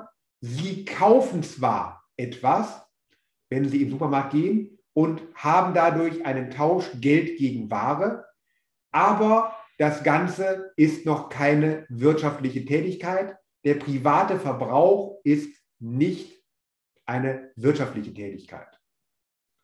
Unproblematisch dagegen Freiberufler, wenn sie das Ganze machen als Anwalt, Arzt oder ähm, Architekt, ist das nicht anders, als wenn sie das machen als Kaufmann, also als Handwerker oder als Einzelhändler. Die rechtliche Struktur der Mitgliedstaaten kann im Europarecht keine Rolle spielen. Das heißt, Gewerbe oder freier Beruf ist irrelevant. Schwierig ist die Lage bei ähm, Arbeitnehmern. Arbeitnehmer sind grundsätzlich natürlich keine wirtschaftliche Einheit, weil sie bringen ihre Arbeitstätigkeit und bekommen dafür Geld. Aber Arbeitnehmer sind durchaus bei beschränkenden Vereinbarungen aktiv nämlich dann, wenn Tarifverträge abgeschlossen werden. Tarifverträge verhindern, dass Löhne oder Urlaub oder andere Arbeitsbedingungen frei ausgehandelt werden und sind damit erstmal per se wettbewerbsbeschränkend. Und das Problem an der Sache ist, auf der einen Seite verhandeln sicher Unternehmen, die Arbeitgeber sind Unternehmen, aber auf der anderen Seite stehen dann Arbeitnehmervereinigungen. Und wenn die Arbeitnehmer keine Unternehmen sind, wäre das keine Unternehmensvereinigung, sondern eine private Vereinigung. Trotzdem sagt die heute herrschende Meinung, ist der Arbeitnehmer, auch wenn er als Rudel auftritt, also als Gewerkschaft oder sonstiger Verband, kein Unternehmen. Das heißt, wenn Sie Ihre Tätigkeit auf dem freien Markt anbieten, also sagen, ich bin der Straßenkehrer und mache das für Geld und mache, nehme jeden Job an, den ich kriegen kann. Das heißt, wenn mir einer Geld gibt, fange ich bei dem an. Dann sind Sie Unternehmen, sind Sie dagegen abhängig beschäftigt und kriegen ein Festhonorar, sind Sie nicht Arbeitnehmer, also nicht, sind Sie Arbeitnehmer und damit nicht mehr Unternehmen. Die letzte Problemfallgruppe sind Aktionäre oder Gesellschafter in GmbHs. Grundsätzlich, allein dadurch, dass Sie eine Aktie kaufen, werden Sie nicht zum Unternehmen, weil Sie haben keine Marktbeeinflussungsmöglichkeit. Wenn Sie dagegen Mehrheitsaktionär eines Unternehmens sind und daher dessen Geschicke bestimmen können, wird Ihnen dessen Tätigkeit zugerechnet und Sie werden dadurch selber zum Unternehmen. Das heißt, der kontrollierende Hintermann, der ein Unternehmen wie eine Marionette steuert, wird dadurch selber zum Unternehmen, aber eben weniger durch den Aktienbesitz als vielmehr durch die Macht. Ganz schwierig wird es bei Handelsvertretern.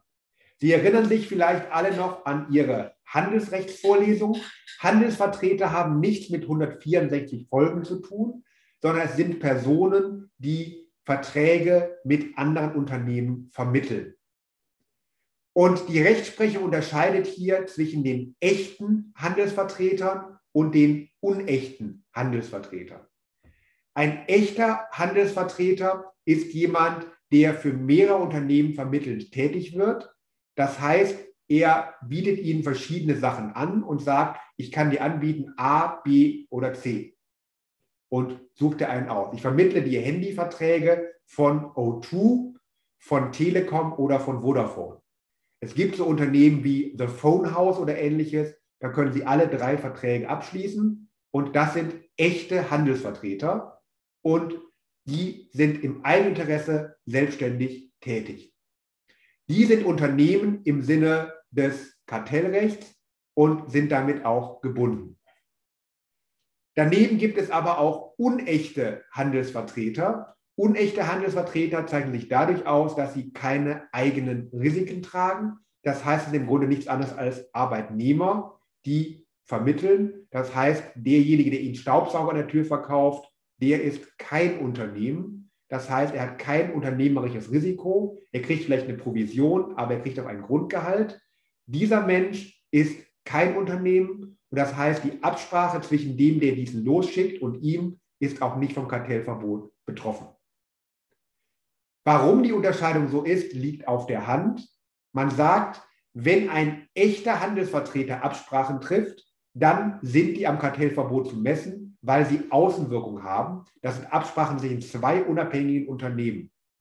Der unechte Handelsvertreter ist dagegen eine Art Arbeitnehmer und das, was er macht, bleibt im Innenverhältnis.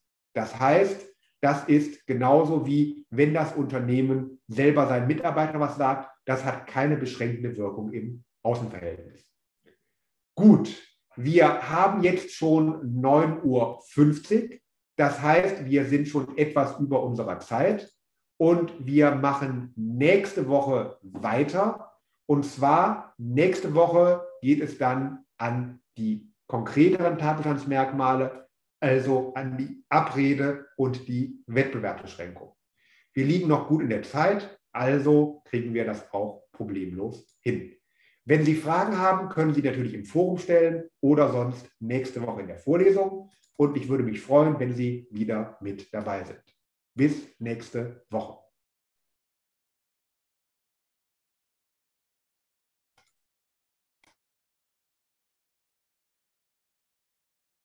Meldung. Ja, bitte. Ich hätte tatsächlich noch eine Frage ähm, bezüglich, der, ähm, bezüglich der Aktionäre und ähm, dass sie eine kontrollierende Macht haben.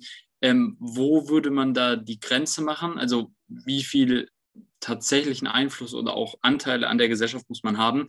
Und wie verhält sich das, wenn ähm, sich mehrere Aktionäre miteinander absprechen und die dann so eben Einfluss im ähm, Unternehmen erhalten?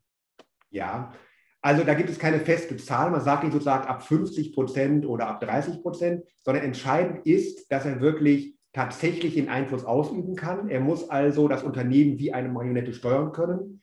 Das kann sein, dass Sie dazu 100 Prozent brauchen. Das kann aber auch sein, dass dafür im Einzelfall 30, 40 Prozent reichen. Wir werden das noch näher behandeln, wenn wir uns mit Konzernen beschäftigen. Konzerne kommen quasi noch später in unserer Untersuchung. Ähm, da haben wir genau das Problem. Man sagt also, regelmäßig reichen 40 Prozent, dann hat man da schon äh, die entsprechende Macht, zumindest dann das Unternehmen börsennotiert ist. Es können auch mehrere Unternehmen beherrschend sein, nämlich dann, wenn die koordiniert sind. Das ist dann eine horizontale Absprache zwischen den Beteiligten. Das machen wir auch noch näher. Auch das ist denkbar. Also dass quasi mehrere Unternehmen oder mehrere Aktionäre gemeinsam kontrollieren, dann haben sie halt ein Gemeinschaftsunternehmen. Also auch das kommt noch. Also feste Grenzen kann es da nicht geben, weil eben aufs Ergebnis geguckt wird. Es wird geguckt, steuern die das oder haben das Unternehmen autonom? Und wenn sie die Steuermacht haben, wird einfach gesagt, das ist ihr verlängerter Arm, dann haben sie eine Art Durchgriff. So muss ich es vorstellen. Okay, vielen Dank. Bitte.